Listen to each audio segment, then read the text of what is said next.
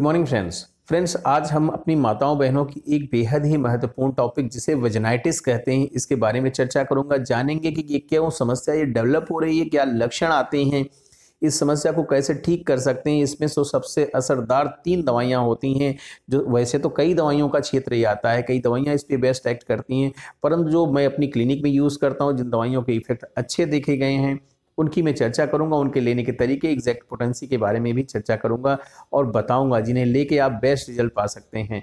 Dear friends मैं हूँ doctor Santosh Pandey. बहुत बहुत स्वागत है मेरे यूट्यूब चैनल पे आपका। वेजेनाइटिस मीन्स इन्फेक्शन या फिर inflammation of vagina and vulva vagina और वल्वा में यदि इन्फेक्शन हो रहा है या इन्फ्लामेशन हो रहा है, और आसान भाषा में बात करें कि यदि एक्सटर्नल वेजाइना और इंटरनल वेजाइना जनरल भाषा में हम कह सकते हैं में अगर दिक्कत हो रही है, आपको इन्फेक्शन हो रहा है तो ये वेजनाइटिस हो सकता है या फिर वेजनाइटिस है। ये कई कारणों से हो सकता है। बैक्टीरिया की वजह से भी हो जाता है वायरसेस की वजह से हो जाता है ईस्ट की वजह से हो जाता है, या जिसे कैंडिडा कहते हैं, उसकी वजह से भी हो सकता है। इसी में हम एक इंक्लूड कर सकते हैं ट्राइकोमोनियसिस की भी वजह से ये समस्या देखने को मिलती है। या इसके अदर कॉजेज में आते हैं कि यदि हमारे गवर्नमेंट्स गारमेंट्स अच्छे नहीं हैं, कपड़े अच्छे नहीं हैं इनर वियर हमारे अच्छे नहीं हैं, या फिर कई बार उससे भी इरिटेट हो जाती है हमारी वजाइना जो इन्फेक्शन कॉज करती है। यदि हम वहाँ पे बहुत हार्ड सोप का इस्तेमाल कर रहे हैं शैम्पू लगा रहे हैं, या फिर स्प्रे परफ्यूम या फिर अदर कोई थिंग केमिकल जैसे यूज़ कर रहे हैं तो भी ऐसी समस्या डेवलप हो सकती है। इसके इसके लक्षणों की बात करें तो सबसे पहले यही आता है कि वजाइना के डिस्चार्ज इंक्रीज हो जाएगा, बढ़ जाएगा ज़्यादा आने लगेगा, उस डिस्चार्ज से स्मेल आने लगेगी बैड स्मेल आने लगेगी इसके डिस्चार्ज के साथ साथ उसको वजाइना में पेशेंट को ईचिंग मिलती है, खुजली मिलती इरिटेशन होता है, बड़ा उलझन सी महसूस होती है यूरिन पास करने में तकलीफ़ होती है, दर्द होता है जलन होती है। जब भी पेशेंट अपने पार्टनर के साथ होता है तो उस समय उसको पेन महसूस होता है वजाइना में। साथ ही साथ ऐसे पेशेंट को स्पॉट ऑफ़ ब्लीड भी देखने को मिल सकता है। कई बार ये इन्फेक्शन इंक्रीज करके यूरिन का भी इन्फेक्शन क्रिएट कर देता है, जिससे यूरिन के भी सिम्टम्स आने लगते हैं डियर फ्रेंड्स यदि हम बात करें कि कैसे हम पता कर लें कि इन्फेक्शन जो हो रहा है बैक्टीरिया से है ईस्ट से है या फिर ट्रैकेमोनियसिस से है तो डियर फ्रेंड्स इसे हम पता कर सकते हैं अपने सिम्टम्स के भी आधार के ही आधार पे।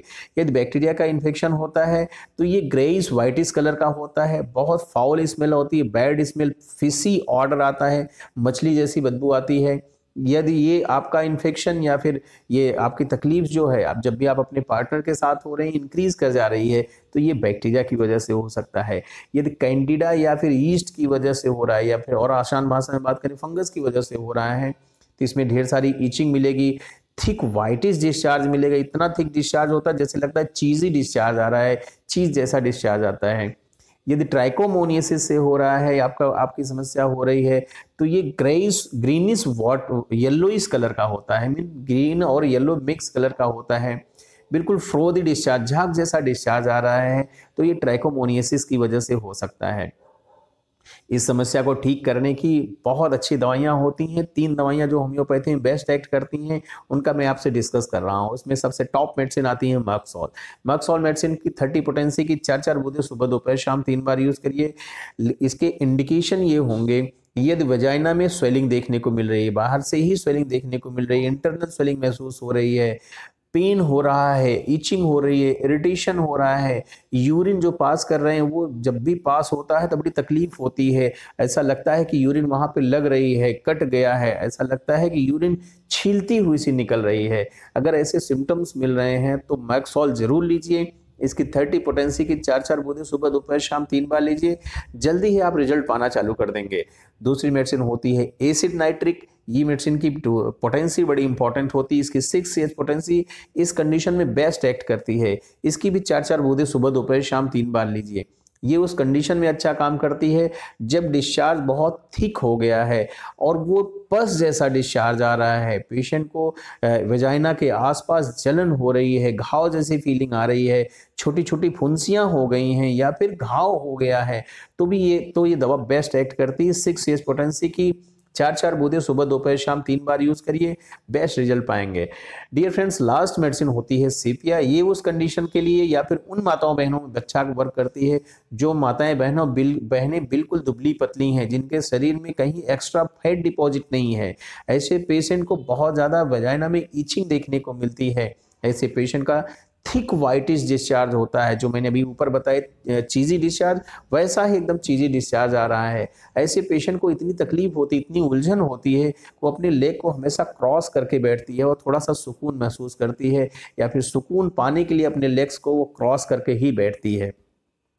ये बड़ी इफ़ेक्टिव दवाइयाँ हैं, इनका यूज़ करिए, आप अच्छा रिज़ल्ट पाएँगे, आपकी समस्या ठीक हो जाएगी। इसके साथ ही साथ यदि आपको ऐसी समस्या है तो यदि किसी और वजह से हो रहा है, जैसे केमिकल से हो रहा है गवर्नमेंट से हो रहा है, या फिर आपके पार्टनर से हो रहा है तो समस्या को आप सेल्फ रोल आउट कर सकते हैं और उनसे बच के भी आप अपनी समस्या को ठीक कर सकते हैं अच्छा रिज़ल्ट पा सकते हैं। डियर फ्रेंड्स यदि आप मुझे पहली बार देख रहे हैं या चैनल सब्सक्राइब नहीं किया है तो प्लीज़ चैनल को सब्सक्राइब करिएगा। वीडियो बहुत फ़ायदेमंद है, वीडियो शेयर करिएगा, दूसरों को भी फ़ायदा दिलाइएगा। बहुत सारे लोग या बहुत सारी फीमेल इससे सफ़र कर रही हैं, वो बता भी नहीं सकती हैं और दोस्त और सफ़र करते करते कंप्लेंट्स इंक्रीज कर जाती हैं। Thank you thanks for watching